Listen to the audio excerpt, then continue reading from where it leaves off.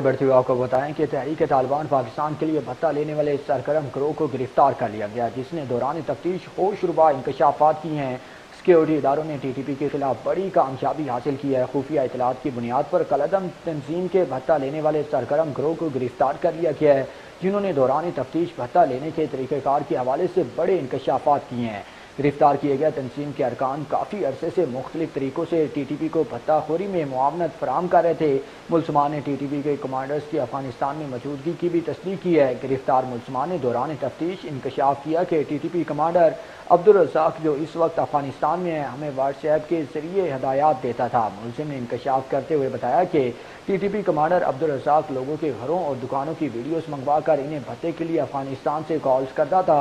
और भत्ता ना मिलने या तखिर की सूरत में जान से मारने या अगवा की धमकियाँ देता था।